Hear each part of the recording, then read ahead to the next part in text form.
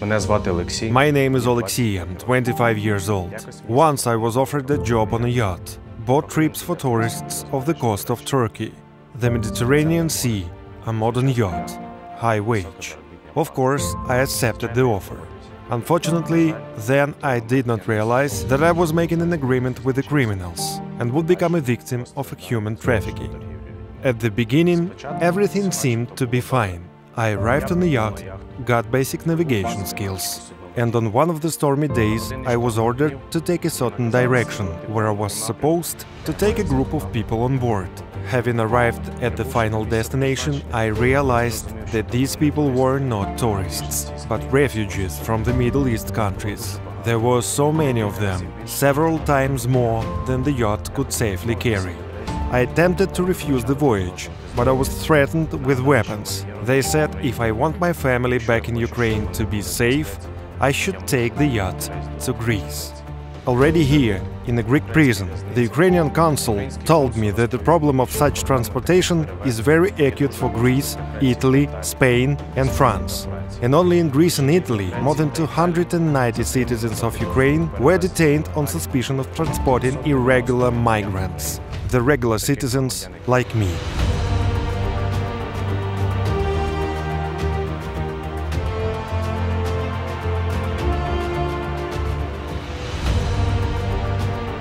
Transportation of irregular migrants is organized by transnational criminal groups.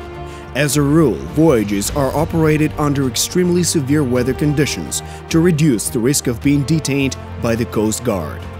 Seduced by easy money, Ukrainians often agree to such a job, not realizing that they're being fraudulently involved in criminal activities. When my husband agreed to work on a yacht, we thought we would only part for a few months. His arrest was a tragedy for the whole family. Total helplessness. That is how we can describe our feelings. My husband is about to be sentenced to more than 100 years in prison. Greek laws are very strict. Whom to ask for help, how to find a good lawyer, how to find an interpreter in a foreign country. All our friends helped us raise money for a lawyer and to travel to Greece to visit my husband in prison. Seeing your beloved one locked up is one of the hardest challenges to face in life. Our life changed.